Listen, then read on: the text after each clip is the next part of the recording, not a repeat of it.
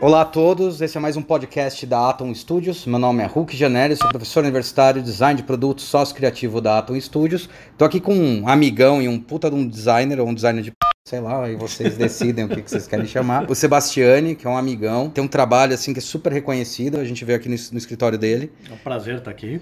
Bom, vamos lá. Para começar, eu não faço nada sozinho. Quem está escutando aqui no fundo e trabalhando enquanto a gente só bate papo é o Akira Goto, E aí, Akira? Beleza? Beleza. que é meu sócio desde. É aquele lá que tá algemado, tipo a Princesa Leia? É, exatamente. Ah, tá, ele, ele geralmente ele brinca que ele é o Lombardi, né? O Rock que não, que não aparece, que só fala que tá no fundo, mas quem faz as coisas acontecer aqui é ele, que ele é mais responsável pela parte de criação e eu pela parte de estratégia. Ele é meu sócio desde 2009 e ele começou como meu segundo estagiário em 2004. Ah, né? legal. É, é o único designer aqui, né? Então vamos começar contando isso, né? Desde que eu tinha 4 anos de idade, eu sabia o que eu queria ser quando eu crescesse. E era arquiteto. Sempre brincava de ficar desenhando plantas, adorava pegar aquelas plantas no farol, achava que a arquitetura era isso, né? Durante a época do cursinho, me apresentaram a área de desenho industrial, numa entrevista vocacional. Ah, talvez você goste também da área de desenho industrial. Tá nome aí- escroto, né? né, Exato, né? E aí falaram, eu perguntei, puxa, que legal, mas o que, que é? Não, você vai fazer assim, design de cadeira e embalagem de shampoo. Aí eu falei, cara, eu não quero fazer cadeira nem embalagem de shampoo. Hoje eu acho cadeira um tesão. E recentemente a gente criou aqui algumas embalagens de shampoo infantil. Ah, que legal. Mas na maneira como me foi apresentado na época, foi assim extremamente frustrante. Pô, eu posso construir uma ponte, uma casa, um prédio. Fazer um frasco, né? É, ou eu vou fazer uma embalagem de shampoo. O que, obviamente, era uma visão equivocada de quem estava me orientando e minha da maneira como eu interpretei aquilo naquele momento. E aí, finalmente, quando eu entrei na faculdade de arquitetura da USP, né, eu descobri que a arquitetura era muito maior do que eu imaginava, mas que de verdade não era o que me encantava. Algo nos primeiros anos, claro, foi ótimo, no primeiro, no segundo ano. Mas eu comecei a perceber e a aprender sobre arquitetura. O desafio de um projeto arquitetônico não é que ele é maior do que um projeto de design, mas é que uma vez que o problema principal do projeto arquitetônico está de alguma forma superado, resolvido, você tem ali todo o anteprojeto arquitetônico, com todo o pensamento da lógica espacial, Aham. construtiva, material, tecnológica, econômica, conforto termoacústico. No momento que você resolveu esse problema, e a parte mais legal que eu achava do projeto não era o lado artístico da arquitetura, Aham. da concepção, era o lado da resolução de problemas. Aham. Eu sempre adorei resolver problemas, mas na hora que você resolvia, o que, que você tinha? Todo o problema do detalhamento executivo, aí você Aham. tinha que ficar especificando tomada, luminária, rodapé, o parafuso que prende o rodapé. E aí ainda isso vai, depois de um tempo de inúmeros projetos técnicos de detalhamento, hidráulica, você vai ter que levar isso para a obra, e a obra vai dar problema e vai executar errado, e aquilo me cansava, porque eu percebi que eu tinha uma dificuldade. Por mais que eu gostasse do projeto arquitetônico, quando eu resolvi o problema de projeto, ele perdia graça para mim. Tá. né? E ao mesmo tempo, eu compreendia, e eu aprendi isso estagiando em bons Fora o, de o arquitetura. tempo, né? Depois que você já resolveu é o muito longo. muito longo para você ver a execução. É assim, é, hoje eu não tenho mais aquele prazer de ver uma obra minha executada. Mas no começo da carreira, Uhum. Sim. seja dos primeiros projetos arquitetônicos, seja dos primeiros projetos de design, tinha aquele tesão de ver na rua uma marca que a gente fez. Quando eu fiz o meu primeiro projeto, foi um restaurante pro meu pai, de ver o projeto ali, de Aham. interiores todo feito. Dá um prazer, mas depois de um tempo você perde. Perde esse prazer da execução. Então, sim, era mais demorado na arquitetura, mas o que eu entendi é que esse detalhamento todo executivo, que era muito importante, ele era para mim muito desgastante. Eu- a comparação que eu faço assim, eu continuo adorando a arquitetura, mas o fato de eu adorar a arquitetura não quer dizer que eu tivesse que ser um arquiteto. Sim. Assim como o fato de eu adorar cozinhar e comer não quer dizer que eu tenha que abrir um restaurante. Sim, São sim. coisas. Então, já durante faculdades, e eu consegui um estágio com um dos maiores arquitetos brasileiros da atualidade, que é o Marcos Acaiaba. Sim. Aquele, aquele estágio que você e fala: Uau, meus amigos vão morrer de inveja! e duas semanas depois eu estava completamente infeliz trabalhando lá. Ah, né? esgotado. Aí ele veio conversar comigo né? Falou que meu trabalho não estava rendendo, me mandou embora, me demitiu. E na hora que ele me demitiu, foi cair a ficha. Aí ele falou: não, vamos acertar essas duas semanas. Eu, cara, não precisa acertar. Você tá me fazendo um favor. Se você não me demitisse, talvez eu não tivesse coragem de Aham. pedir demissão. E o que tá muito claro para mim, não no bate-papo, na nossa fala, é que não é para eu ser arquiteto. Sim. Entendeu? E nessa época eu já tinha ganho vários concursos de projeto de arquitetura para estudantes, participado em equipes vencedoras de projetos profissionais. É, eu lembro dessa, Mas, disso. Cara, o que, o que que era o legal do projeto arquitetônico de concurso? É que você entregou, você ganhou o prêmio, acabou, É, né? é, Você não é, tem que é, executar é, é. aquilo. Então ficou muito claro que não era isso. E já nessa época, na faculdade, eu estava na metade ali do, do, do- metade pro final do terceiro ano, tinha tido as primeiras disciplinas de identidade visual. Aí eu acho que vale um parênteses, né? Quem é Eu esse metido disso. desgraçado de arquitetura trabalhando com design? Tem que lembrar, né, que o primeiro curso de design em São Paulo foi do IAC. Na verdade, Isso. o primeiro curso de design do Brasil Foi do Foi do IAC. IAC, é. né, A Instituto primeira faculdade foi a. ESD. né? A primeira faculdade foi a ESD, mas o a segunda faculdade a incorporar design no Brasil, ou a primeira de São Paulo, foi a FAO. Sim. E É. aí design era parte da grade da Ah, FAO. eu né? lembro que quando- Mas era me- menosprezado frente ao curso de arquitetura, mas era parte do curso de Ah, arquitetura. eu lembro que eu fui atrás de arquitetura também. Atrás também foi isso. No cursinho eu descobri que na Unesp tinha uma, uma porcaria chamada desenho industrial. Uhum. Fui ver, mas na USP eu queria porque eu sabia que lá pelo terceiro, quarto semestre tinha uma especialidade em embalagens que era o que eu queria trabalhar. O, assim, o curso da FAO, da época, ele tinha um lado muito bom e um lado muito ruim. E o que, que acontecia? Né? Você tinha um curso que era integral, cinco anos, em alguns semestres Isso. aulas à noite, duas vezes por semana, e em alguns semestres aulas de sábado.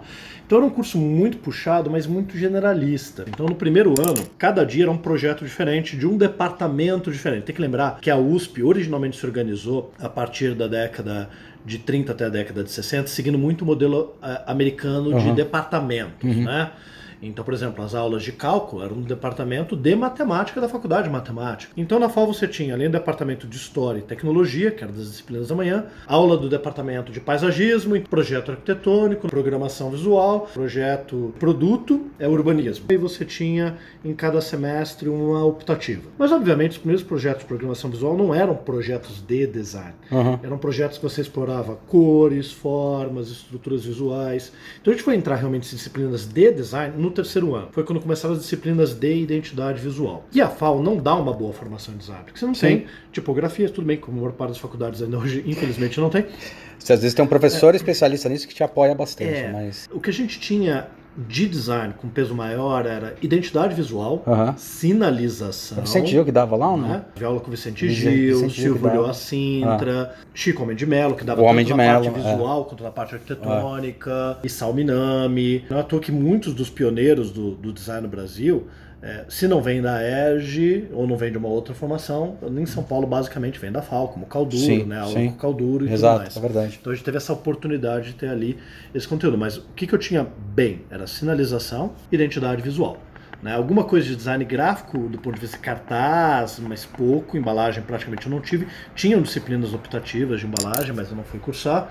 Assim como na parte de projeto produto, mobiliário, mobiliário urbano, era esse muito mais o foco. E aí já para o final da minha graduação, eu percebi que eu estava muito feliz, porque eu já não queria ser arquiteto, mas ao mesmo tempo eu tinha uma cobrança em cima de mim, que é uma, uma formação muito Bauhausiana Uhum, FAO, uhum, é verdade. de que o designer, o arquiteto, ele tem que projetar tudo. Você Exato. vai projetar a cidade, Exato. né, o bairro que a pessoa mora, o condomínio, Uma- a casa, dentro da casa você vai projetar o mobiliário, aí você vai projetar o carro que ele vai para o escritório, o escritório dele, a sinalização do escritório, a identidade visual do escritório, as divisórias do escritório, o mobiliário do escritório, e ainda tinha as disciplinas de projeto de barcos, então, claro que esse cara é muito rico, então ele tem um barco no final de semana, você Sim, vai projetar. uhum. Você tinha disciplina de design de embarcações para projetar o barco e design de interiores de embarcação. Mas enfim, eu me formei e eu me sentia completamente Ou, se- competente. ou seja, só sistêmico, na verdade. totalmente sistêmico. Porque eu não era um bom designer gráfico. Uhum. Eu nem gostava de design gráfico, ainda não gosto.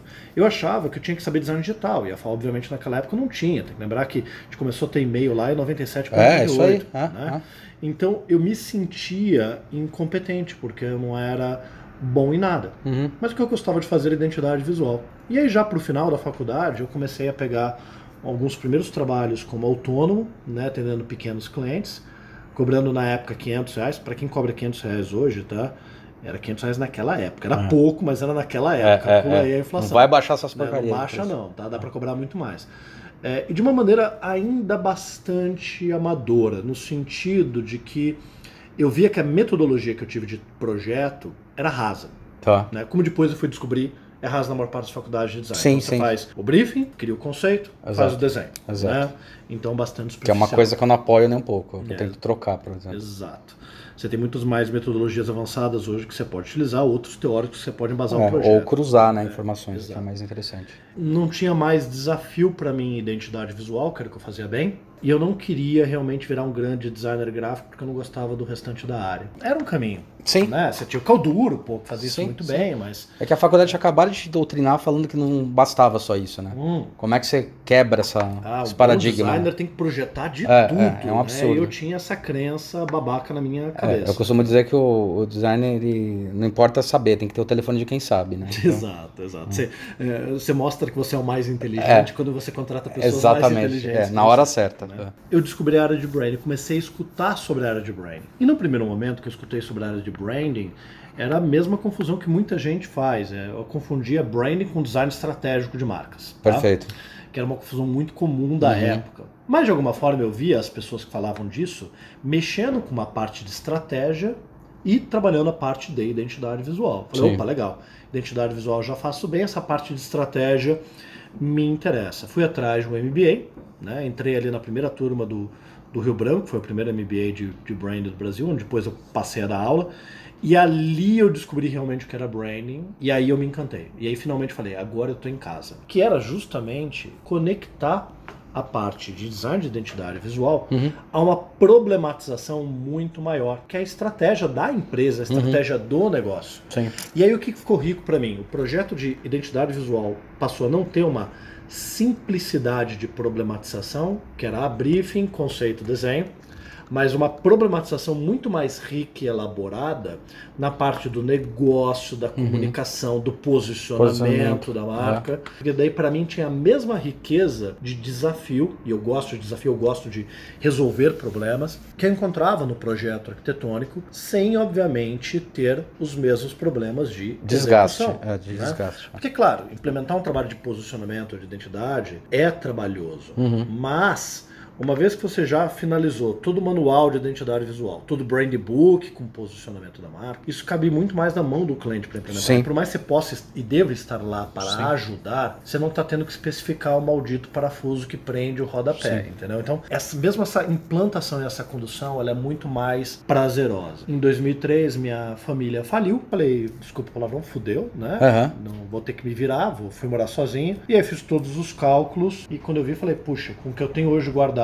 com o que eu ganho, eu vou à falência em 12 meses. Aí fiz um outro cálculo com contratando estagiário, eu vou à falência em 6. Seis, é. Mas se eu vou à falência de qualquer forma, é melhor colocar um estagiário e tentar correr atrás de trabalho, montar uma empresa, do que ficar completamente parado. E foi Tá. o que eu fiz. Abri a Sebastiane ali, contratei Camila Vieira, Uhum. que é hoje do Ideia Fixa. Isso, né? é verdade. Foi ela, inclusive, que me indicou o Akira como segundo estagiário, né, e que depois virou sócio. Seis meses depois eu tava falido. Só que, assim, nos 45 minutos do segundo tempo, literalmente 27 de dezembro daquele ano, já preparando para fechar tudo, sei lá, e ligar para minha avó pedindo se eu podia morar na casa dela lá em Curitiba, tava aqui em São Paulo. Entrou trabalho, clientes que estavam devendo pagaram, e aí a coisa começou a crescer. Tanto que É, três final de meses. ano é milagroso, cara. Quantas vezes se salvou no final de ano? Pra...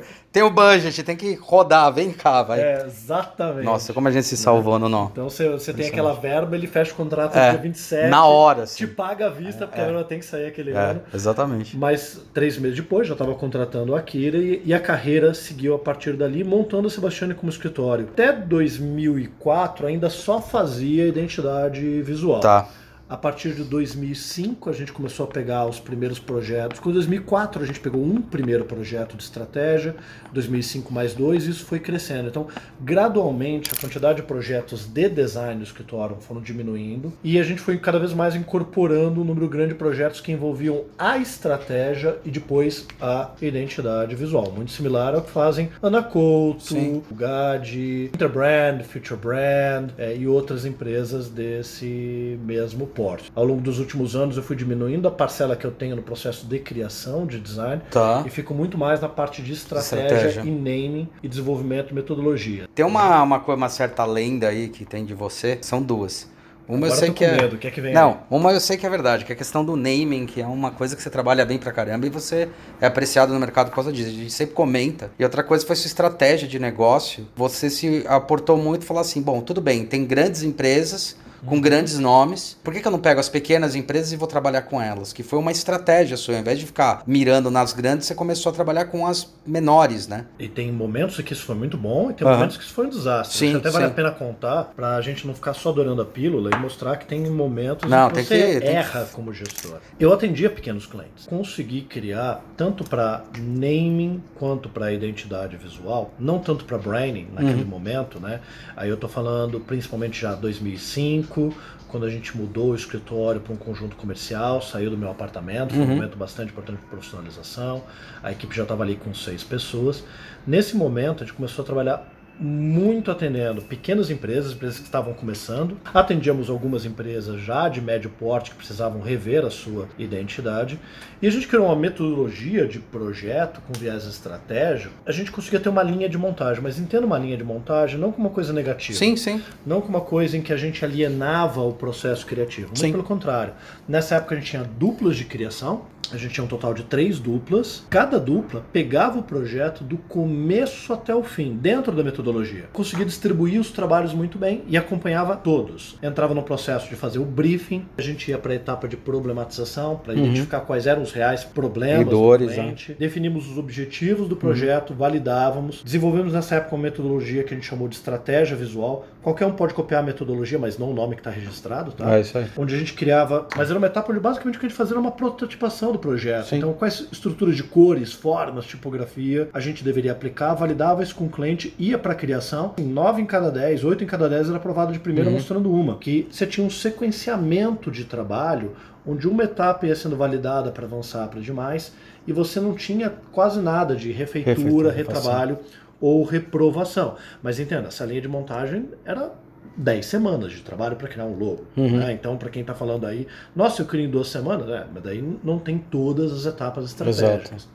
E nessa época a gente já conseguia cobrar, então falando de 2005, 7, 8 mil reais, considerando que é um projeto de identidade visual, contando o manual básico ali, mas não as aplicações, por Sim, exemplo. sim. né? E nesse período a gente chegava a fazer 50, 40 marcas de empresas por ano em média. Ali já no começo, se não me engano, de 2009 para 2010, a gente viu que as coisas estavam ficando um pouco mais complexas. A gente apostava que em, em 2011 explodiu o número de projetos de name no escritório, então a gente gastou um bom tempo para desenvolver a metodologia que a gente tem hoje, e era um ótimo complemento, porque não só se conseguia cobrar mais, porque você tinha o valor da identidade Uhum. visual e do naming, mas muitas vezes era o que fazia o cliente fechar conosco, o fato de a gente ter uma metodologia de naming. Só que a gente começou a perceber que esse modelo não estava mais redondo. É, porque você imagina, os projetos começaram a ficar mais longos. À medida que a gente foi incorporando mais itens estratégicos no projeto, o projeto de seis semanas passou a demorar oito, de oito Tá, semanas passou tá. a demorar dez, Tá. de dez semanas passou a demorar doze. Eu sou obsessivo por melhorar o trabalho. Uhum. E aí cada nova melhoria representava um número maior de horas. Sim. Só que esse número maior de horas não necessariamente aumentava a produtividade. 2011, 2012, a gente resolveu mudar o modelo. A gente contratou um consultor que ajudou a gente numa parte de profissionalização e ele viu que aquele modelo de duplas não era rentável. E a gente discutiu muito naquela época que a gente queria ser uma empresa que nem Limping Corte, na cor 20, 30, 40, 50 pessoas, a gente já estava chegando a 18 pessoas no escritório. É. Tinha um período até que tinha estagiário que fazia estágio de manhã, estagiário que fazia estágio à tarde, porque não tinha computador para todo mundo. Sim. E a gente chegou numa conclusão que era assim, não estava dando nem para repassar valor para cliente, nem aumentar a produtividade, nem aumentar salário. Era um, um hiato que estava estrangulando a gente ali. Lucratividade Gargalo, né? cair. E aí a gente percebeu que assim, putz, se a gente tivesse pessoas dentro do projeto só fazendo estratégia e Aham. pessoas dentro do projeto só fazendo criação, a produtividade seria melhor. A gente teria sempre uma pessoa em cada projeto cuidando de estratégia, uma cuidando de criação, eu junto com a pessoa de estratégia cuidando de estratégia, o Akira junto da pessoa de criação trabalhando na criação, mas cada indivíduo poderia pegar um número maior de projetos simultaneamente. E a gente chegou com muito temor para a equipe para propor isso, porque de alguma forma tinha a figura do gestor do projeto que acompanhava até o final, era um processo legal. Sim. E a equipe, na verdade, na época ficou aliviada, porque tinham pessoas que falaram: olha, que bom, porque eu não aguento mais fazer criação, descobri que não é isso que eu quero, eu quero fazer estratégia. E outras que sinalizaram: putz, que bom, porque eu não aguento mais fazer estratégia, Quero o que eu quero criação. é criação. Em 2013, a gente percebeu que aquele modelo de querer virar uma empresa maior já não estava mais sinalizando como um caminho tão adequado, por uma falha não moral, mas de gestão minha e do Akira. Será que também não é uma. Porque assim, tá tendo uma mudança radical na questão estrutural, social mesmo, quando a gente fala sobre a era da informação. A quantidade de pequenas empresas que podem entregar produtos com qualidade, às vezes em pequena quantidade, do que ao que a gente vivia uma, uma era antes, que era o modernismo, vai.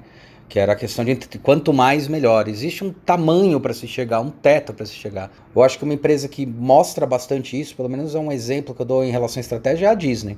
A Disney percebeu que não consegue vender Mickey para 7 bilhões de pessoas, mas esse é o diferenciar, então. Então, se eu vender Marvel, Mickey, Star Wars, manter, e eu tenho pequenos clusters que podem consumir de maneiras diferentes. Sim, e o mercado vai mudando. Eu acho que é, é legal é, aí falar de vários fatores que culminaram naquele período entre 2011, 2012 e 2013. Chegou um momento que tanto eu quanto a Akira, a gente ficava mal quando a gente via que um projeto poderia ficar melhor e não ficava, Verdade. tá? Então aquilo causava um incômodo gigantesco na gente. O segundo item que aconteceu, a gente estava perdendo muito funcionário, que a gente vinha, o cara começava como estagiário, sempre foi assim Aham. virava profissional quando ele ficava redondo, e é o natural, Aham. conseguia, claro, um emprego numa das grandes, Interbrand, Future Brand, enfim, e as pessoas iam para lá e a gente entendia que se eu no lugar deles talvez fizesse a mesma coisa, mas que a gente não conseguia segurar tanto esse povo e o investimento era era grande. A gente percebeu, em 2006 começaram a entrar todos esses sites de crowdsourcing e a gente percebeu, cara, isso vai criar um problema. A computação estava ficando cada vez mais acessível, os softwares também, tanto os legais quanto o acesso à pirataria, que muita gente tinha. né? A gente sempre optou por trabalhar com software legal, então nessa Sim. época a gente usava só CorelDRAW, porque a licença da Adobe era uma fortuna, então eu ficava É puto quando alguém criticava. A gente, vocês não usam Adobe? Não, porque Adobe é melhor. Você está usando Adobe pirata, você não está É, usando legal, é. mas vamos lá. É, Fora que não gente- tem tanta diferença assim, gente. não, mas enfim, hoje a gente trabalha com, com Adobe, trabalha com Corel também, dependendo do que vai fazer. Mas vamos lá. Exato. Alguém, todo mundo vai dar um follow agora. É, é, é. O que, que a gente percebeu? Que estava começando a crescer um abismo. De um lado desse abismo, profissionais, independente da qualidade do trabalho, pouco profissionalizados. Mesmo que o seu Perfeito. projeto seja bom, tá? mesmo que Perfeito. tenha faculdade, brigando para cobrar baratinho e cada vez cobrando mais barato. É. Nessa época a gente vê a gente cobrando 100, 200 reais, sendo que 10 anos antes a gente estava cobrando 500. É, né? E era é, barato é, naquela época. é. Por outro lado, sim, grandes escritórios cobrando muito caro pelo projeto, muito caro não no sentido negativo, no sentido positivo. Sim, sim, né? sim. Então a gente falou, cara, não vai ter lugar nesse abismo pro meio termo, pro preço médio. Não é que ele exista. Esse lugar do preço médio vai ficar muito pequeno. Ou a gente vai cobrar mais por um trabalho mais estratégico maior e melhor e buscar se diferenciar nisso, ou a gente vai ficar naquele abismo do baixo preço. E aí, justamente por conta dessa questão tecnológica, começou a entrar muita concorrência de escritório pequeno, Sim, muita concorrência de freelancer. E embora muitos não tivessem qualidade, muitos tinham. sim, Porque o mercado mudou completamente. Na década de 90, você tinha que garimpar esse sim, conteúdo. verdade. Hoje tá tudo na internet. É um E- saco, mano. Não, não acho que é um saco. Eu acho que é bom tá tudo na internet. Não, sabe o que eu digo? É, você tinha. Você gastava muito pneu Uhum. pra conseguir pouca informação. material. É, é só isso. Hoje, e aí de novo, é, é, o acesso ao repertório visual é muito maior. Não só porque as marcas nossas no dia a dia são como um todo muito mais profissionais em termos de comunicação, mas o acesso a materiais, livros, sites, tutoriais, e isso é algo bom, isso não Sim, é algo sim, ruim, sim, isso é algo muito bom. Porém, foi uma coisa que chamou a atenção minha falar, não dá mais pra gente talvez estar focando tanto nos pequenos escritórios em volume, porque cada vez mais vai ter um número grande de concorrentes bons, jovens designers atuando nessa área. Tipo, vai virar um Red Ocean, assim. É. É. E embora alguns não saibam se comportar profissionalmente ou cobrar, muitos sabem fazer um bom projeto. Uhum. Né? Aí a gente decidiu falar assim: a gente está tendo uma queda de qualidade e a gente tem que ir para estratégia para valorizar. Então vamos diminuir o escritório? Então a gente começou, à medida que as pessoas iam pedindo demissão, a gente não ia repondo mais. Sim. A gente ia subindo o valor do projeto que a gente cobrava e tentando vender cada vez mais a parte de estratégia, posicionamento, arquitetura de marca, a parte de branding, design estratégico. Ou seja, você estava conseguindo alinhar um negócio que também aconteceu, que era a questão do fluxo de caixa, né? É. Ao invés de você manter ele muito alto, você mantém ele orgânico, como é um escritório mesmo. Às vezes você entra mais, Mas o sazonal. Mais margem. Com mais margem. Com mais margem. Exatamente. Com mais margem. O choque veio numa reunião de amigos lá da FAP, da Fabiana, da minha esposa, que fez design também. encontrei com o Mori, ele na, na conversa ali, acho que foi 2012, né? Ele falou assim, cara, lá no escritório X, esse ano a gente faturou 6 milhões de reais. Eu falei, nossa, eu tô tão longe de faturar 6 sim, milhões sim. de reais, entendeu? Sim. Eu faturava 400, 400 500, 500 mil é. naquela época. E a duras penas, sim. né? Eu falei, nossa, eu tô tão longe, eu tenho que faturar mais de 10 vezes para chegar aos pés desse escritório. Eu me senti um merda. É, Aí mas... a frase seguinte dele, logo na sequência foi, sei qual que foi. é, mas a gente lucrou só 100 mil. Exatamente. E aí eu falei, opa, a gente quase lucrou 100 mil. Exatamente. Entendeu? Faturando Exatamente. muito menos. Tem alguma coisa muito errada. É, uma coisa que eu converso muito, quando a gente vai pegar cliente, cliente pequeno, alguma coisa, a gente fala, cara, quem você quer ser? O faturamento não tem nada a ver com o seu lucro. Uhum. Você quer ser pequeno e continuar fazendo o que você gosta, porque você tem mais margem de manobra, uhum. ou você vai crescer muito e ficar com um monte de dor de cabeça administrativa e talvez fature a mesma coisa. Depende do quanto você quer de manobra, o que você quer do seu objetivo quanto estratégia. E o que você quer alocar de Sim. equipe, capital, Sim. recurso, esforço. E aí esse era o momento que eu tava vendo aquela queda de qualidade, eu falei, cara, eu tenho um problema, eu, eu gosto de pôr a mão na massa. Eu não quero ver um projeto que saia com o nosso nome sem que a gente tenha dado melhor. Aí eu fui conversando muito com a Kira, a gente foi fazendo essa transformação, mas chegou um momento que os aluguéis estavam indo assim, o aluguel estava indo para 5.500 reais. É. Isso eu estou falando de 2013, 2014. É. Uma casinha de vila pequena de 90 metros quadrados. É. A gente mudou para um espaço físico menor, mas melhor, de 60 metros quadrados, que daí era uma sala única que inclusive foi bom porque a gente pôde reformar do nosso jeito, porque a sala nunca tinha sido ocupada, e a gente fez com a nossa cara. Foi o último projeto arquitetônico que eu fiz na vida e saiu até em revista. Então era um momento de reduzir custo e ao mesmo tempo buscar clientes maiores com mais estratégia. O percentual de projetos que a gente desenvolvia, que envolvia a parte de estratégia, já passou a ser 60%, 70%, e a gente foi gradualmente aumentando o preço e aí sim abandonando os pequenos. Não quer dizer que a gente não pegasse projetos de pequenas empresas sim, sendo formadas. Eram muito mais mais empresas que estavam vindo de pessoas que estavam investindo, queriam começar do jeito certo, estavam fazendo investimento grande. Uma coisa que o pessoal fala muitas vezes assim: ah, nossa, mas ali a padariazinha da esquina não tem grana para investir. Cara, hoje se você quiser montar uma padaria, o investimento médio é 5 milhões de reais. É, exatamente. Se uma padaria simples é 2 milhões. Naquele ano a gente fez um, um trabalho para uma lanchonete que veio com todo aquele mesmo ah, não, porque eu sou pequeno, estou começando, mas o dono já tinha outros restaurantes, ele está capitalizado. Exato. E no slide que ele mostrou pra gente que escorregou, estava lá o planejamento de investimento, estava uhum. 1 milhão e 800 mil, entendeu? Então, na, naquele contexto, você cobrar né, que seja 20 mil no projeto, não é 1% sim, sim. do que ele está colocando sim. lá, entendeu?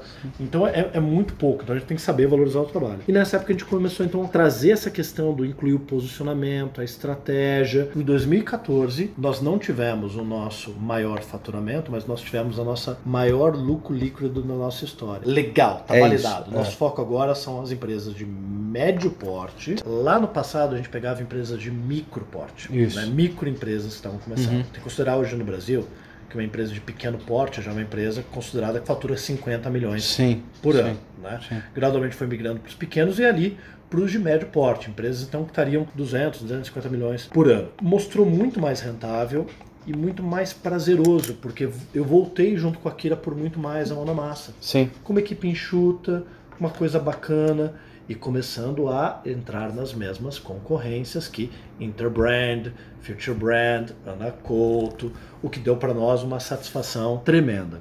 Aí 2015 já não foi tão bom, 2016 fechou com um pequeno prejuízo e 2017 a casa caiu. Nesse período que a crise daí realmente bateu, a crise em função da desvalorização das commodities Sim. que pegou todo o problema daí de investimento, né, governo Dilma, questão das eleições questão, também. Eleições, não é. tô nem entrando em não é questão política, é questão né? E, e era ridículo, porque a gente perguntava assim, o empresário começou a ficar paralisado. Isso. Entendeu? Não é que ele não tinha grana para investir e aí parou tudo. Aí os pequenos pequenos não estavam abrindo, os micros a gente não conseguia pegar e os médios paralisaram. Em 2017, teve que começar a fazer uh, o, o, Yuri, trabalhava uhum. com a gente na parte comercial, falou: olha, tô pensando em mudar para Ribeirão Preto, montar minha empresa lá, né? Mas eu fico aqui até o meio do ano, o cara sempre comprometido. A gente falou, cara, então você tá afim, vai agora, porque a gente vai ter que reduzir custos, está complicado, não está fechando, está trabalhando aqui né, e não está ganhando nenhuma comissão, porque ele cuidava da parte comercial.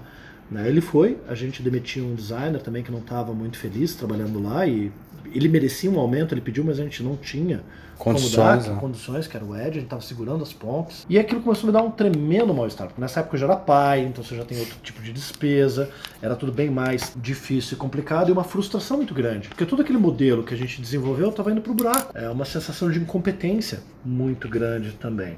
E aí eu fui entrar em contato com todo mundo que a gente tinha feito orçamento naquele ano no ano anterior e a gente descobriu que não é que tinham fechado com outras empresas. Não tinha fechado. Não tinha fechado. Ah. E a gente falava com as pessoas, tá, mas se a Dilma ganhar a eleição, você vai investir? Não, eu vou investir porque acho que a economia vai piorar, então é melhor investir. Se o Aécio ganhar a eleição, você acha, você vai investir? Vou, porque eu acho que a economia vai melhorar. Tá, mas quando você não sabe quem vai ganhar, você não investe. Foi a mesma coisa nas últimas eleições. Eu tinha gente que falava assim, ah, Exato. ah, os meus clientes de esquerda e de direita, cada um dizendo, não, se o meu candidato ganhar, eu vou investir porque acho que as coisas vão melhorar. Uhum. É, e dizendo, mas se o outro candidato ganhar, eu vou investir porque acho que as coisas vão piorar. Mas uhum. enquanto não se decide, você. E aí a gente começou a ter prejuízo, a gente começou a não ter salário. Pequeno parênteses. Em 2012, a gente começou a dar cursos pela Sebastiani. Em 2014, a gente já estava levando esses cursos ainda da Sebastiani, meus, do Akira, para várias cidades, mas sempre planejando os momentos de baixa. Em 2015, como já teve uma pequena baixa de projeto, e a gente tinha uma equipe na época de nove pessoas, a gente falou, vamos aproveitar agora esse período de baixa e vamos fazer online, né? Então a gente foi utilizando toda a estrutura da equipe para gravar, editar vídeo, revisar material, melhorar material, fazer aula teste é, para a equipe no escritório quando era um conteúdo novo, para ver melhorias do curso. Então era o momento de treinar a equipe. E aí em 2015 a gente lançou o primeiro beta teste, que eram algumas palestras online. Em 2016 o primeiro curso. À medida, na verdade, que Sebastião começou a ir para o buraco, uhum. a parte de curso começou a crescer. Uhum. Só que ainda em 2017, o que, que aconteceu? Eu viajava para dar curso 15 a 18 finais de semana por mês e eu não era remunerado porque eu tinha que usar esse buraco para esse dinheiro para cobrir buraco na Sebastiani, uhum. né, que eu trabalhava durante a semana e que não me remunerava. Sim. E você pai, né? Sim. Então você falava assim, cara, o que, que, eu faço? Teve uma história que foi muito triste de uma concorrência que a gente participou. Foi uma concorrência de orçamento, de metodologia. Sim por uma grande empresa de agronegócio, empresa familiar, né, uma empresa de médio para grande porte, era bem o perfil que a gente queria. Projeto completo, posicionamento, estratégia, identidade, name de produtos, arquitetura de produtos. A gente fez todo o processo, tudo direitinho. A gente sabia que tinha empresas pequenas e grandes na mesma concorrência, uhum. mas naquele momento não sabíamos quais. E o processo foi tão bem conduzido, tão profissional, que no final a gente recebeu um relatório para dizer não só se a gente tinha sido escolhido ou não, mas por que tinha sido escolhido ou não. Tinha uma empresa que era especializada em marketing para agronegócios que estava conduzindo esse processo. Naquele momento eu tive que assinar um NDA, no qual eu não poderia nem dizer o nome dessa empresa Sim. até o projeto se tornar público. Mas enfim, veio o relatório por e-mail. Eu baixei ali, super detalhado. Então, eu falei, nossa, nunca participei de uma concorrência assim. E aí estava lá: conhecimento, atende plenamente as necessidades do projeto. Legal, passei. Preço, não foi o orçamento mais caro, nem o mais barato, mas o com melhor custo-benefício. Ótimo. Opa! Tô levando e lendo todo o relatóriozinho, porque é tudo por escrito, não dava para ir para um tópico final aprovado, não. Metodologia, sem sombra de dúvidas, a mais profunda e detalhada metodologia, Nossa, principalmente imaginando, na fase de coleta. Já sei que não é o preço, tá falando que é a metodologia. Prazo, 40% maior. E aí, status reprovado. Tudo bem, houve uma grande falha minha comercial de não indagar sobre a parte do processo. Eles queriam lançar toda a estratégia, todo o posicionamento numa feira em outubro daquele ano. Dava cinco tá. meses de trabalho. Eu precisava, no mínimo, naquele projeto, naquela época, oito meses 8, de tá. projeto. Tá. E eu, eu, entrei em contato e falei, puxa, por que vocês não me falaram? A gente poderia ver se daria para diminuir, mas não... aí ele falou, não, porque tem uma feira. Não, mas não conseguiria para outubro, conseguiria para dezembro. Não vale a pena considerar. Não, não, não. Já fechamos. Eles falaram o nome da empresa que fecharam, que é uma grande consultoria internacional. Essa grande. E eu conheço muitas boas. Eu tenho Sim. muitos bons concorrentes. Então, já que eu falei que é uma internacional, ó, Anacuto é ótima, Gad é ótimo, Timos é ótima, uhum. Tátil é ótima. Claro que tem nacionais ruins também. Essa eu sabia que era uma empresa que tinha históricos de problema de entrega. Eu sabia que eles não iam entregar no prazo. Estamos aqui gravando em 2020, eu ainda não posso falar Sim. qual é o nome dessa empresa de agronegócio por conta do NDA. Uhum. Naquele momento, eu me senti a pessoa mais merda do mundo. Eu fiquei completamente deprimido, porque de alguma forma, aquela reprovação. Entenda, quando você está fazendo 10 orçamentos por mês e está fechando, foda-se o orçamento que não fechar. Você está fechando Sim, os três. Mas naquele momento que você está com um filho, não está recebendo, está trabalhando que nem um louco, não está recebendo salário, mas todo mundo do escritório estava, né? Com contas, tudo aquilo que você seguiu da tua carreira, Já você está isso, fracassando, cara, você se sente pior pessoa do mundo, porque naquele momento, para mim, não era reprovação de um orçamento, era a Sim. reprovação do Guilherme. Sim. Claro que não é isso, é só mais um orçamento. Sim. Mas era como eu me sentia. E eu fiquei Sim. completamente deprimido. É porque tem muita coisa entre- entrelaçada, né? Não tem isso, é aquilo que a gente sempre fala, vai montar um negócio, você tem que entender que uma das coisas que menos você vai fazer é o seu expertise. Uhum. Você vai trabalhar mais gestão, quando você tem pessoas, você tem gestão de pessoas, É... que é complicadíssimo, sabe? Tudo fica muito mais trabalhoso, complicado Pesa. a operação. Aí quando o Akira foi fazer a pós-graduação, foi que ele começou a trazer melhorias de gestão e que foi um dos principais Que motivos ótimo, para sócio. Puta, isso é ótimo. meu. Hoje a Akira cuida de toda a parte de RH, TI, né? Não é porque é japonês, mas é porque ele tem essa especialidade, é, e toda a parte administrativa financeira. Então eu cuido da parte comercial, atendimento, vendas e metodologias novas que têm que ser desenvolvidas. Então naquele ano eu fiquei completamente deprimido. 2020, isso. Não, isso 2017. 2017, É. começo de 2017. Aí cheguei pro Akira e falei, quer ficar com o Sebastião? Eu vou sair fora, não quero mais. Né, eu quero pedir demissão da minha empresa. E o a gente foi muito conversando, né? O Akira foi fundamental nessa etapa, com duas coisas que ele falou. Eu não tenho interesse em ficar na empresa sozinho, ele falou, mas não fecha a empresa, porque se pintar um trabalho legal, você vai querer pegar. E era um momento que eu falei assim, cara, a empresa de cursos está dando dinheiro e a Sebastiana está dando prejuízo. Então eu prefiro muito mais ficar com cursos, que naquele momento um curso estava tendo uma grande satisfação. Eu falei, vamos ficar só com, com cursos. É um negócio escalonável, tem, tem outras possibilidades. Os online já estavam começando a rolar, estava sendo interessante. E aquele me convenceu a, a não fechar completamente. Mas ele falou, olha, vamos fazer o seguinte, resetar o escritório. Vamos focar nos cursos, Vamos ter o escritório, só eu e vocês, pintar algum projeto a gente pega. A gente teve que ter uma conversa muito dura com a equipe, né? Uhum. Falar assim, olha, vamos fechar a Sebastião. Não vai exatamente fechar, mas é praticamente isso. Isso foi uma conversa que a gente teve, se não me engano, em março, começo de abril. O mercado tá muito ruim para procurar emprego, mas se vocês conseguirem, seria ótimo pra gente não ter que pagar a verba indenizatória.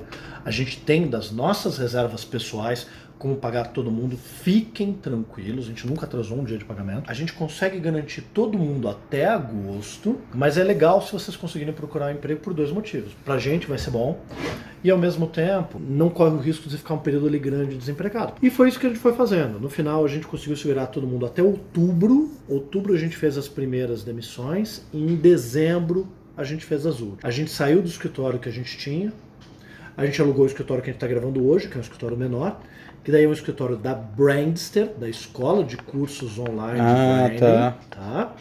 E falou assim, Sebastiane, é eu e o Akira recebendo uma participação do- sem salário mais, então a gente tem que fazer os cursos rodarem e vamos pegar um projeto ou outro. No final daquele ano de 2017, a gente tinha daí o problema de que novembro, dezembro sempre tem muito orçamento. E é muito daquilo, da verba que quer ser queimada naquele Isso ano. é o budget. Também que- de gente que está planejando o orçamento do ano que vem. Exato. Só que daí para todos os clientes que apareciam, a gente tinha uma conversa, apresentava o trabalho e tudo mais. Daqui para frente a gente vai continuar atendendo, tá? Sou eu e o Akira no projeto, a gente vai chamar freelancers eventualmente se houver Sim, necessidade. sim, sim. Mas como serei Se tu for diminuir de acordo com o projeto. Como serei apenas eu e o Akira, a gente vai pegar no máximo um projeto por mês.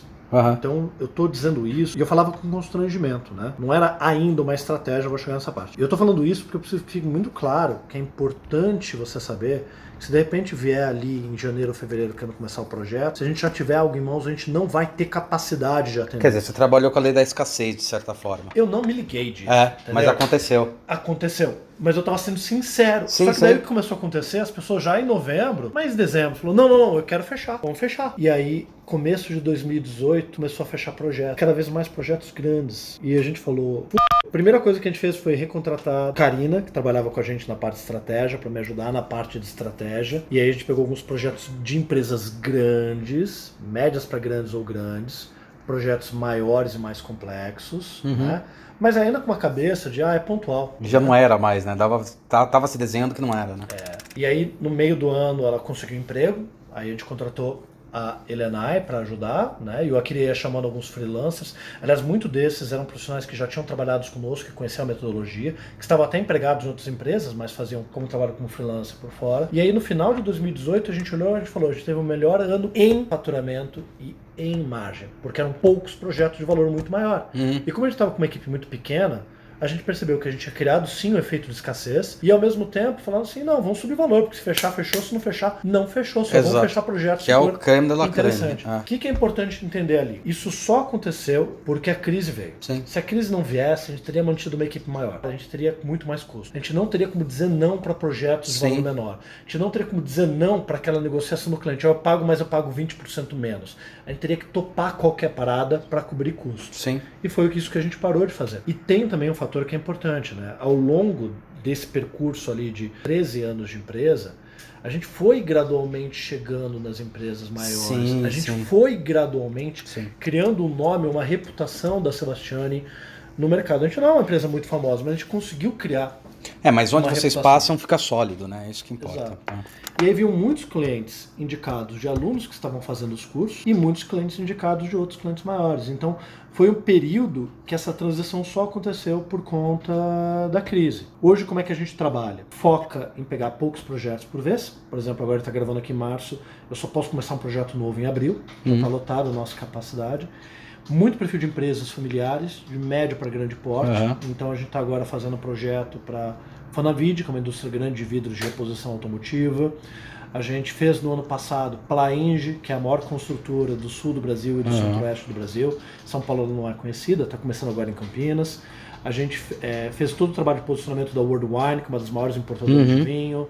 A gente fez todo o trabalho de reposicionamento da UniFTC, que é um dos maiores grupos de educação da Bahia. Então o que está sendo legal é que a gente está entrando em concorrências para grandes empresas. Fomos chamados pela Bosch para fazer um trabalho de name, não fechamos, mas fechamos um trabalho de name para Thomson Reuters no ano retrasado. Então está sendo um momento muito rico para a gente, ainda somente eu e a Kiri montando as equipes de acordo com o projeto, para poder atuar. E mudou a maneira como a gente trabalha. Sim. Por quê? A gente tem pessoas que ajudam a gente na etapa de estratégia, mas na hora da criação, a gente hoje chama os profissionais que têm exatamente o traço que aquele projeto precisa. É, o expertise, né? para né? aquele projeto. O projeto da, da UniFTC é um projeto com posicionamento de marca mais jovem, mais ousado. Chamamos Johnny Brito, que tem um trabalho bem legal na parte visual. No trabalho da Plaenge, a gente precisava de alguém com uma sutileza de projeto maior, em especial em tipografia. Então a gente chamou a Deia, que já trabalhou com a gente. Né? Em outros trabalhos a gente chamou o Diego Maldonado para ajudar no aperfeiçoamento tipográfico. Então isso está sendo muito bacana. Né? Então mudou a forma como a gente hoje faz projeto. E o naming, cara?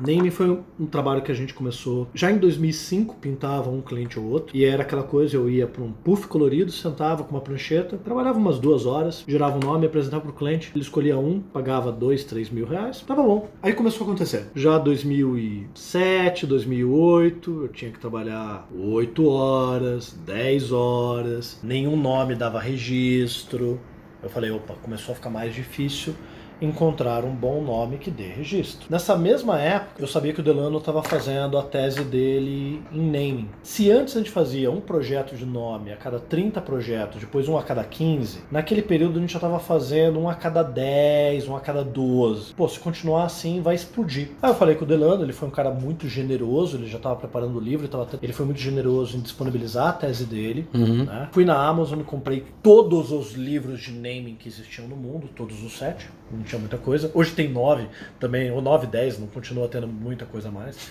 Então quando alguém pede dicas de livro de naming, eu já falo, olha, entra na Amazon, procura por naming, entra na Amazon americana, tá?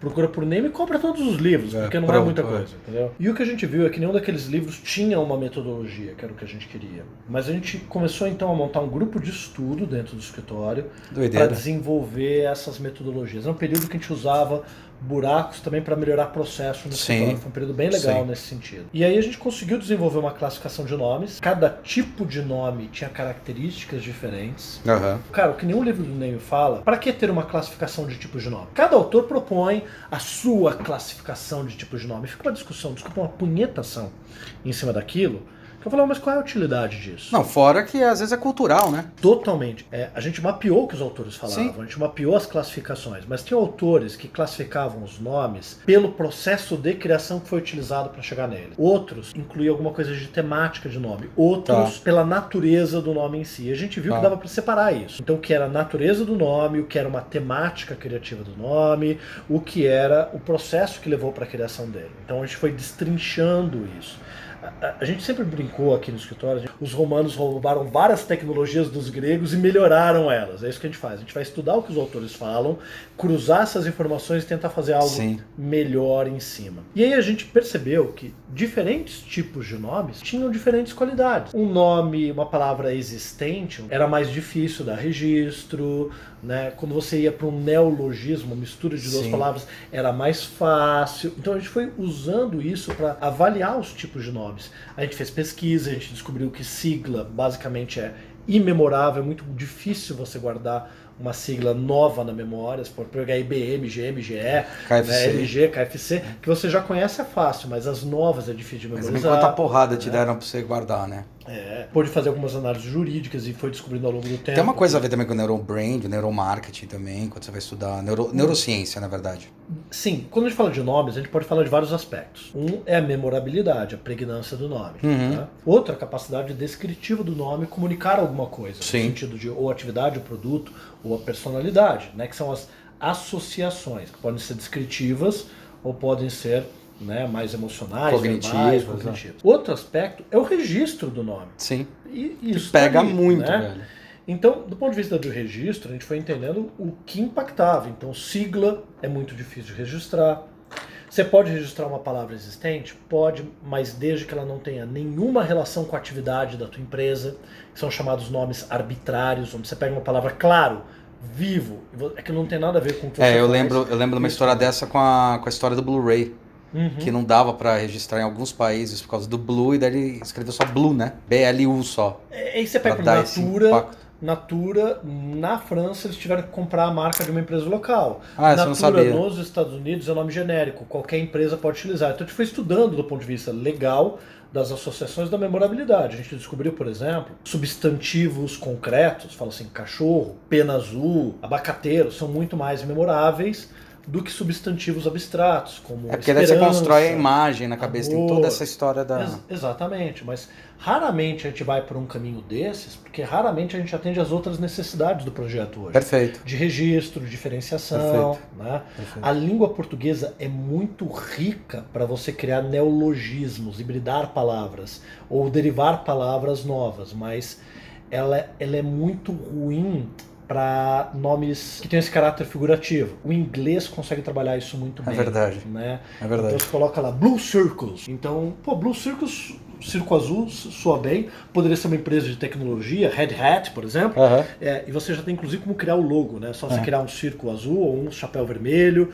É, o inglês, para isso, ele tem algumas outras qualidades. Cada idioma tem suas peculiaridades. E a gente foi desenvolvendo essa metodologia com a aposta ali de que em 2010 ia explodir e não aconteceu. Mas em 2012 começou já a ser um em cada cinco. Então, me- meu ímpeto de criar metodologia é, na verdade, um grande anseio meu de não ficar sujeito ao determinismo de um processo criativo. Uhum. Não quer dizer que a metodologia não tenha criatividade, Sim, sim. mas ela direciona. Então, se eu vou criar um logo, qual é a pesquisa, qual é o objetivo, quais são os problemas que o logo tem que definir, em função daqueles problemas, que cor, que forma, que tipografia tem que ter, validos que o cliente aprova, então daí vai para o processo criativo já sabendo que cor, que forma, se tem símbolo, se é só um logotipo, se é uma marca caligráfica com uma tipografia geométrica, não importa. Isso me dá um pensamento estratégico que me direciona o esforço criativo. Perfeito. Com o nome é a mesma coisa. Uhum. Quais são os objetivos, quais aqueles são prioritários frente ao outro, é mais registro, memorabilidade, uso internacional da marca, desempenho em mecanismo web, ter domínio ou localização no Google, que são coisas completamente diferentes. Uhum. Em função disso, que tipo de nome? E aí vai para o processo criativo já sabendo Um que direcionamento, né? Quer dizer, deve determina já os drives do projeto. Mas é hoje que eu começo a ver uma maturidade desse mercado na nossa área. Quando a gente fez a pesquisa, a gente olha para tudo. E o mercado brasileiro de name naquele momento ainda era praticamente criar nome de empresas novas. O que eu entendo que vai ser ainda 98% do mercado hoje. Quando você olha para empresas americanas especializadas em criação de nomes, que tipo de nome eles desenvolvem para produtos novos? Perfeito. Você pega a Lexicon, que Perfeito. é uma grande inspiração para mim, porque a Lexicon é uma empresa que cobra 2 milhões, 3 milhões de dólares para criar um nome. É uma empresa de 15 pessoas. Uhum. É uma empresa altamente especializada, poucas pessoas desenvolvendo para grandes marcas. Você vai ver todo o portfólio da Lexus que estão criando nomes de produto. Da Sunny, que é a água mais vendida do mundo, que é da Coca-Cola, eles desenvolveram.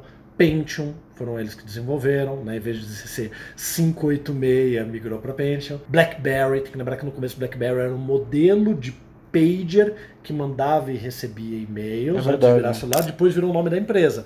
O nome da empresa era outro. Esse é o mercado maduro de name. Hoje é muito raro a gente criar o um nome de uma empresa nova. A gente geralmente cria nomes de empresas que estão precisando mudar de nome por algum problema, permite que você cobre muito mais, e nomes de produtos. Então o que a gente fez para Thomson Reuters era o nome de um software deles. Tá. Esse é o mercado maduro de naming que hoje começa a aparecer, mas eu diria que 98% do mercado ainda é criação para pequenos clientes. é porque também o cara não, acaba não enxergando isso, né? Nem tem muita gente hoje começando a fazer de uma maneira profissional, mas ainda cobrando muito mal, tá? Uhum. Tem alunos meus que eu sei que fazem muito bem, mas ainda deveriam cobrar mais. Se você está me uhum. escutando, cobra mais. Uhum. Dois, três mil reais por nome é, é muito pouco. Pode ser fácil para você criar, mas um bom nome dura por causa da vida. Então, hoje a gente cobra é, tranquilamente entre 18 e 20 mil reais para criar um nome para uma empresa ou para um produto. Então, bem novo e ainda crescente, mas ainda é, muito carente de processo, de metodologia, né, de, de profissionalização. A maior parte das pessoas cria de maneira assento, fico tendo ideias e gera um nome. Só para você ter ideia, assim, o, eu tenho, a gente tem um curso online de naming, que tem 27 horas de conteúdo. Só a introdução tem 3 horas aula, e é 3 horas aula só para você entender um pouco de teoria, no sentido do contexto, de onde veio os nomes, como o mercado evoluiu. A gente acredita muito em você compreender a teoria antes de ir para a prática. Uhum. Né? A Brandster começou de uma maneira completamente acidental, tá? Eu já dava aula em pós-graduação, né, desde 2006, né?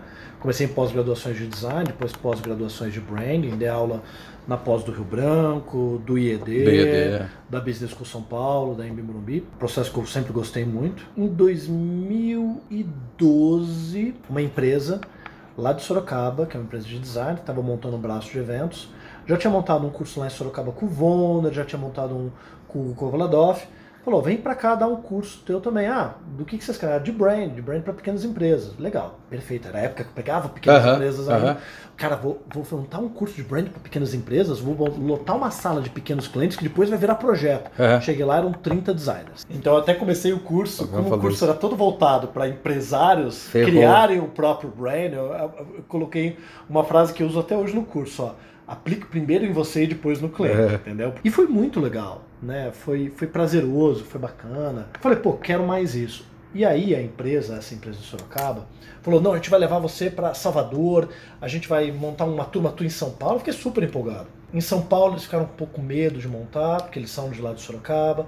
Em Salvador chegaram a marcar a data e aí cancelaram, com medo de é, porque tinha um outro grande evento da área ao mesmo tempo. Eles começaram a ficar com medo de montar. E eu entendo, porque hoje a gente monta curso. Então é um negócio arriscado o curso presencial e eles não montaram. Aí o Akira teve uma ideia, falou: ah, vai ter um momento ali de baixa, né, que a gente já estava prevendo, por que você não pega todo esse conteúdo e dá um treinamento para equipe? Duas vezes por semana, um pouco mais até tarde, né, não tem hora extra, mas para quem quiser ficar totalmente profissional, a gente dá esse curso. Pô, legal, o pessoal curtiu. E aí o Akira teve a grande sacada de, no final do, do curso, dar de presente para as pessoas um certificado de conclusão. E todo mundo uhum. publicou. Uhum.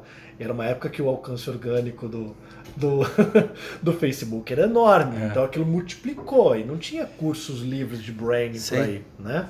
Você tinha era uma pós-graduação que era do Rio Branco e só, né? E depois você tinha, não, tinha já da, tinha do Rio Branco, não tinha do IED ainda, mas já tinha da Business School São Paulo. Mas você tinha poucas opções. O IED tinha o máximo era estratégico nessa época. Aí todo mundo nas redes sociais falando, eu quero, eu quero, eu quero, eu quero, eu quero. Vamos montar uma turma no escritório para sete pessoas, que eu cabia na sala de reunião, e, e vamos gravar. Ó, pra quem estiver ouvindo agora, vai ter voz de criança que minha filha chegou aqui no escritório, tá? Ah, fofo. É, e aí a gente abriu essa turma, a gente não gravou, falei errado, a gente abriu essa turma no escritório três meses antes, achando, pô, Se der quatro pessoas, tá bom. Então, mas as sete vagas lotaram em três dias. Eu falei, "Opa, as pessoas realmente querem. Então daí a gente montou uma segunda turma em São Paulo, já no hotel, deu 18 pessoas. E algumas pessoas eh, chamaram a gente para dar curso nas suas cidades. Então a gente foi lá pelo pessoal da Livia dar curso em Manaus, pelo coletivo Santa Pé em Goiânia. Sim. E virou um negócio em paralelo. Até que em 2014 eu comecei a falar com a Kira sobre cursos online. Por quê? Aí vou fazer um parênteses, tá? Eu já tinha tido uma empresa de cursos online em design entre 2001 e acho que 2004. Sério? Sério. Só que era uma época, para você montar um curso, você tinha que pegar e montar uma apostila detalhada, passo a passo. E montar essa apostila era mais trabalhoso que escrever um livro. Você Sim. tinha que dar o passo a passo, responder dúvida de aluno por e-mail, fazer chat para tirar questões. Sim. O esforço do professor para montar o conteúdo era É, gigantesco. não é o que é o EAD agora, era muito, mais tipo. fácil, é muito mais fácil em vídeo. Então eu tinha essa experiência. E aí, com tecnologia, daria para fazer diferente.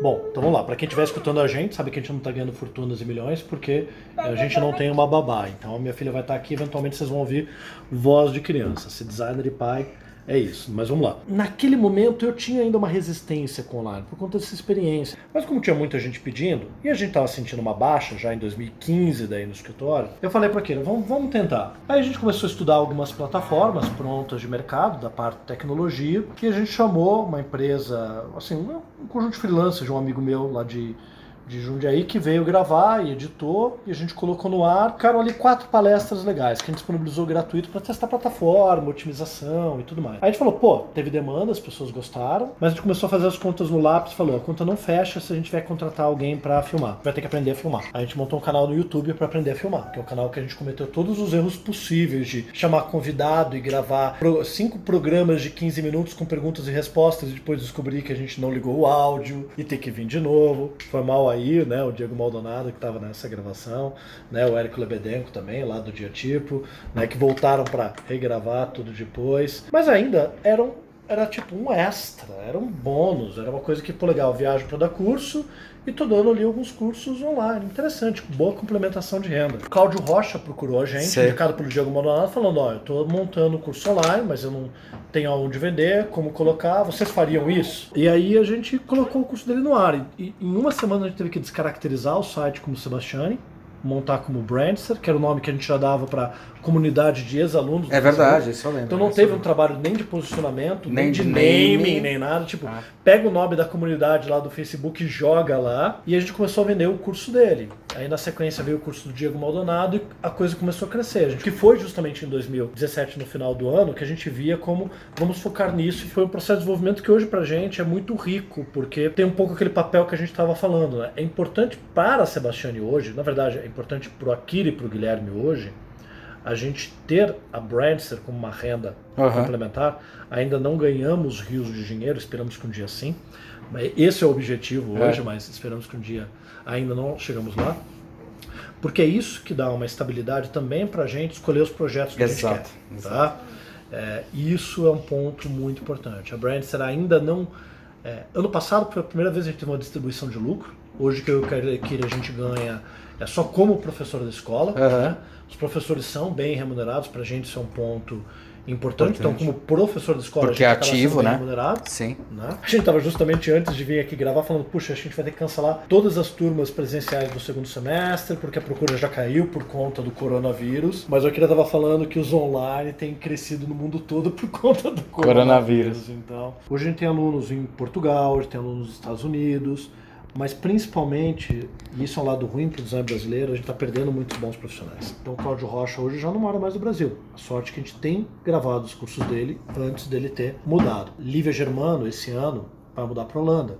A sorte é que a gente já tem três cursos dela gravados e vamos gravar mais um. Túlio Filho de Curitiba, a gente conseguiu gravar com eles dois cursos antes dele mudar para Portugal. Uma pena só que a gente não teve um insight de gravar de repente com outros mestres do design Aham. Antes deles falecerem. Puxa, o Wonder deu aula para mim na pós-graduação.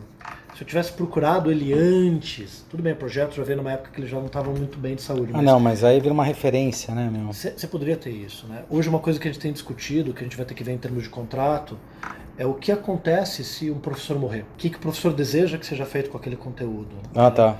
Porque pode ser uma renda para a família, pode ser desgastante para a família ver um parente sendo comercializado ali de alguma forma. Ao mesmo tempo, é uma maneira de compartilhar conhecimento. Então, será que quando o professor morre, a família pode ter a opção de liberar aquele conteúdo gratuitamente? Né? Mas é uma coisa que a gente pensa. Então, quem mais dos mestres de design pode conversar? Três meses antes de morrer, João Gomes Filho passou aqui. Ele estava querendo montar, na verdade, ele mesmo um curso online dele, não necessariamente é, com a gente, veio conversar para aprender como faz. Três meses depois ele estava. É, tá abrindo aqui o livro A Gestalt do Objeto. Esse é um clássico, cara. É, e seria ótimo se a gente, a gente ou ele tivesse tido a oportunidade de criar esse curso, porque não só pode ser uma fonte de renda para a família, mas é a perpetuação de conhecimento. É, a perpetuação de conhecimento. Então hoje é uma coisa que a gente vê que é um lado interessante do projeto. A gente está conseguindo levar é, conhecimento para áreas distantes do Brasil, mas o mais curioso que a gente descobriu nos online é que a maior parte dos alunos, eles estão em São Paulo, Rio de Janeiro, Belo Horizonte, Florianópolis, mas a faixa etária é maior do que nos presenciais. Por exemplo, eu dou um curso presencial de branding, faixa etária média é entre 25 a 35 anos. O online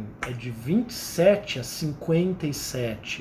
A maior parte dos alunos está entre 35 e 45 nossa. anos e estão em grandes centros. Por quê? Aí é uma hipótese nossa, né? A gente, claro, tem feedbacks pontuais de alunos uhum. do porquê que escolheram online.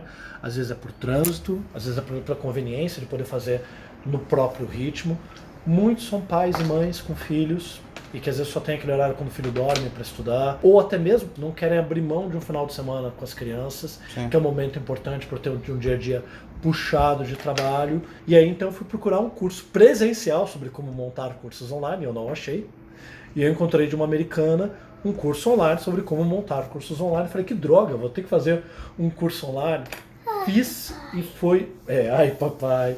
Fiz e foi muito bom.